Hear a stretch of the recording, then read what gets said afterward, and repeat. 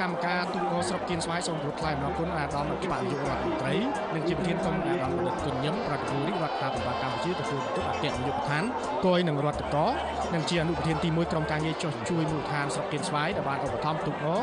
របស់ស្រុកគៀនស្វាយក្នុងនោះរួមមានអាវមួកចំនួន